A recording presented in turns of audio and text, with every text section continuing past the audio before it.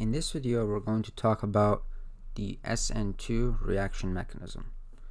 So in this case we have a methyl chloride that is reacting with a hydroxide ion.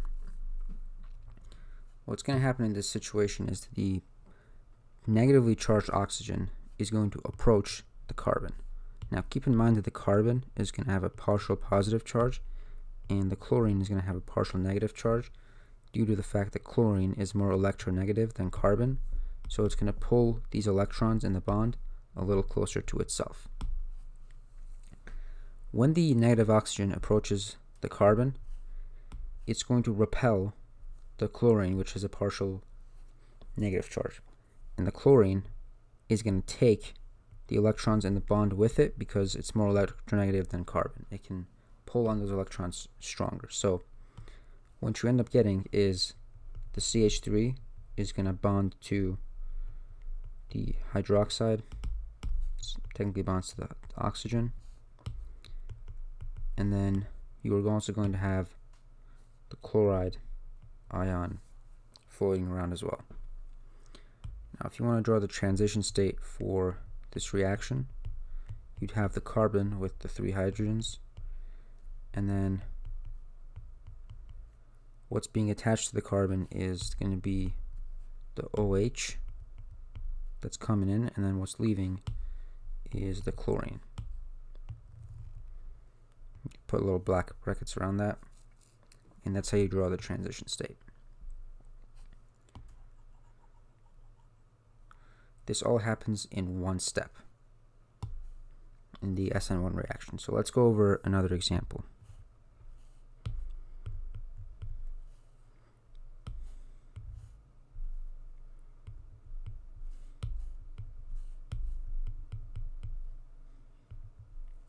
In this case, the sodium is just going to be a spectator. It's not going to do anything in this reaction. The nucleophile, or what's going to replace this bromine, is going to be the OCH3. So, this negatively charged particle, the electrons from it are going to approach this carbon atom. And then what is going to happen is that the bromine is going to take the electrons in the bond with the carbon with it and leave. So at the end what you're going to get is an ether, an OCH3, which is a methoxy group. Then the bromine will have left and have turned into a bromide ion.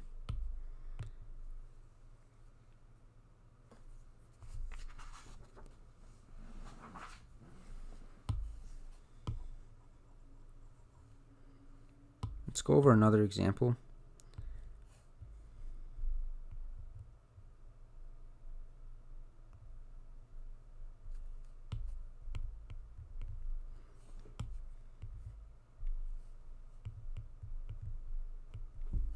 What would happen in this reaction? So, in this case, the iodide ion is going to be the nucleophile. And every time you have a halogen as one of the nucleophiles, it's going to be a negatively charged halogen with 8 valence electrons. What typically happens is that a set of these electrons are going to attack this carbon, and since the bromine is partially negative and the carbon is partially positive, the negative electrons of the iodine are going to repel this bromine. So the bromine is going to take the electrons in this bond with it and leave. So at the end, what you have is iodine replacing the bromine. However, notice that we have a wedge attached to the bromine, which means that the bromine is coming out of the page. The iodine is going to want to attack the carbon from the opposite direction from the bromine. So therefore, the major product in this reaction is going to be iodine on the dash as opposed to the wedge. And this is called an inversion because it's the reverse of what was there before. And this is going to be the major product. And the minor product is going to be the retention product, where you had a dash before and you have a, or you had a wedge before and have a wedge now.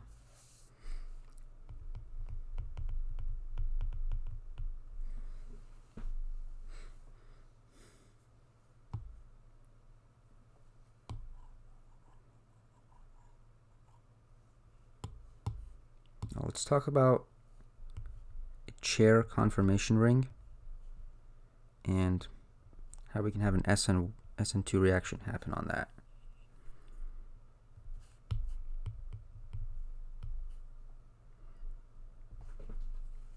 Let's say we have this bromine right here in the axial position facing upward and it's being reacted with hydroxide. And hydroxide has three lone pairs.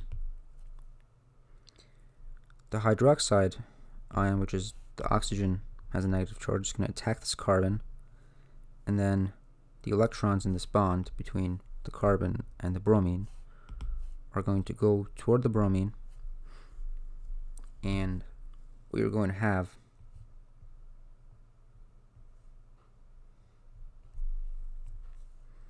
is going to be the hydroxide in an equatorial position facing down. And the reason you have this is because the, once again, the nucleophile wants to attack this carbon from the back of the bromine. It doesn't want to go like this because then the bromine would be in the way. And the bromine has a partial negative charge which would repel the, the negatively charged oxygen. So when it attacks from the back, the bond on this carbon is going to move from being an axial up position to an equatorial down position, like that.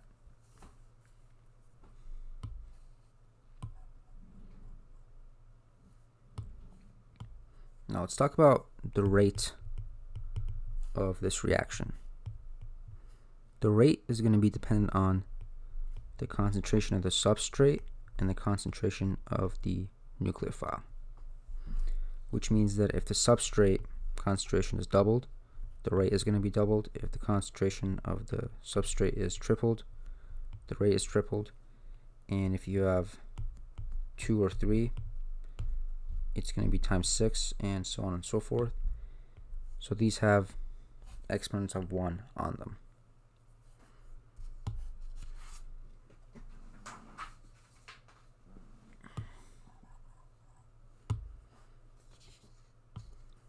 In terms of an energy graph,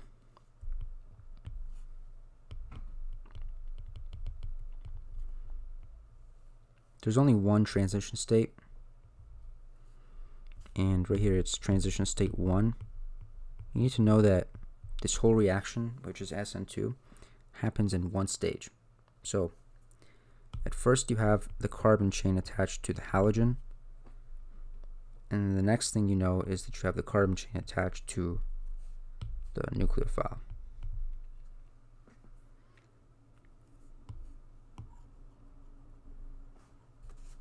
Now, let's compare a few examples and see in which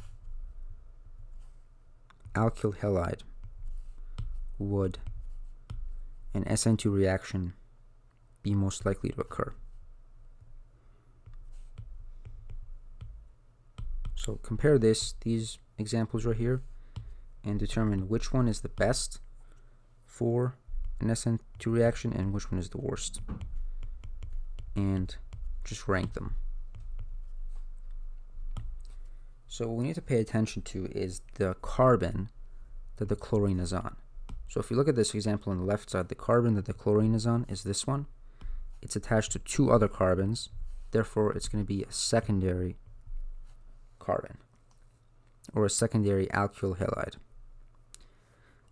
This example right here, it's attached to three carbons, so therefore it's a tertiary alkyl halide. On this one, it's attached to one carbon, so it's a primary. And on this one, the carbon attached to the chlorine is not attached to any other carbon, so it's, it's a methyl halogen. You need to be familiar with the fact that methyl alkyl halides are better in SN2 reactions than primary alkyl which are better than secondary, and those are better than tertiary.